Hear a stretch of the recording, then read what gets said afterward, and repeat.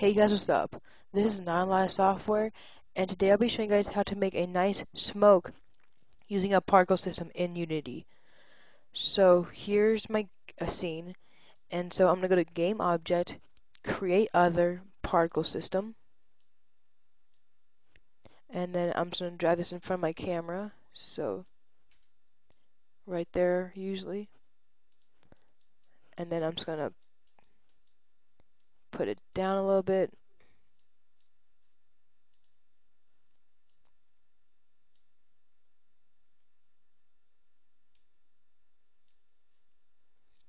And then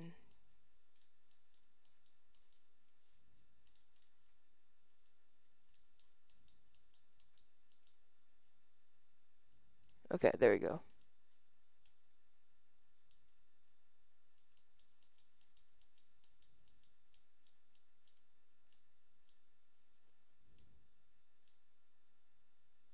Okay, so there you can see it right now, the particle system.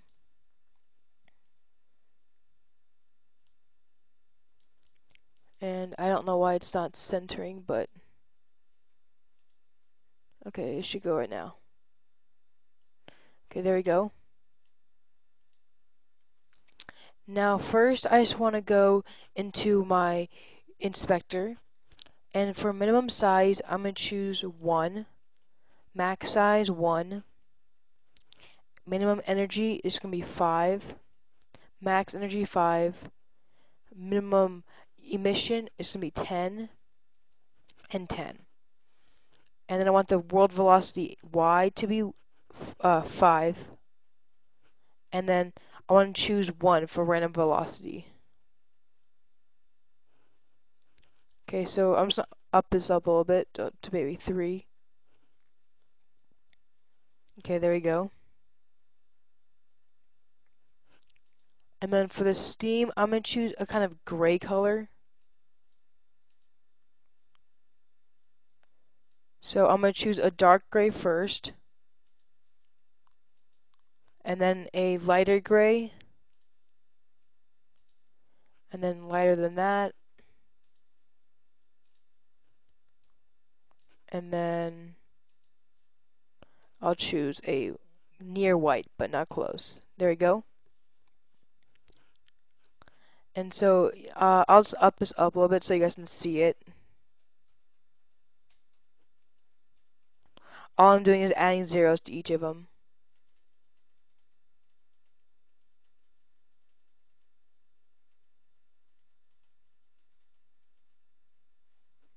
Okay. So I'm just going to put this down a little bit. And so I'm just going to move this over a tiny bit.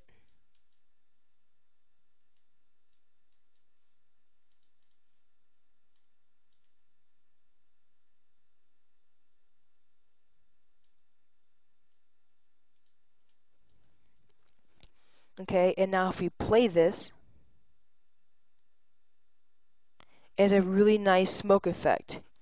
And so you guys can mess around with the uh, the inspector over here until you get it like, as best as you can.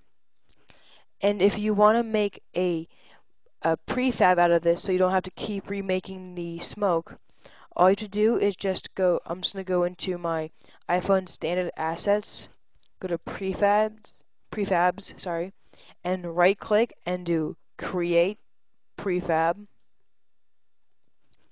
Okay, so it gives you a blank white box over here. It says new pre new prefab. And so all you have to do is just drag this particle system down to new prefab. And I'm just going to rename this to smoke. And then I'll choose a script. Right click and do create JavaScript. And then I'll open this up into Unitron.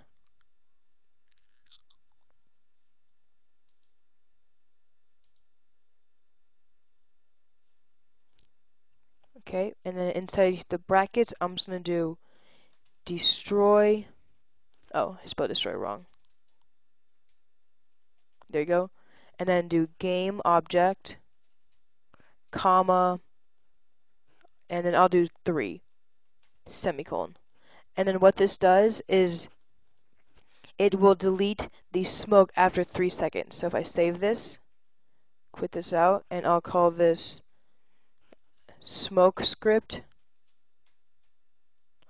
All you have to do is just drag the script onto the particle system. It says losing prefab, and so uh, all you do is just do continue. So we place again. Okay, there you go.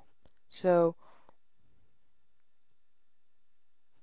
after three seconds, it fades. So that's how you make a nice smoke effect and also how to add a prefab and also a script.